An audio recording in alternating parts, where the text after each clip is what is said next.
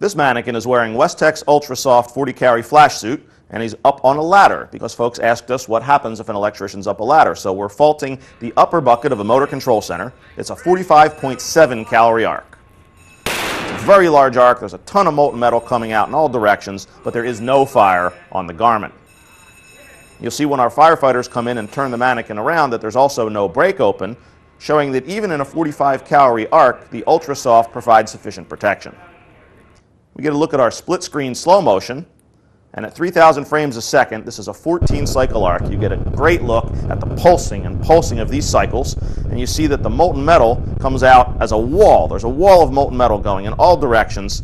And the arc eventually defeats the sides of the MCC as well. And we get the arc plasma out to the right and left of the mannequin.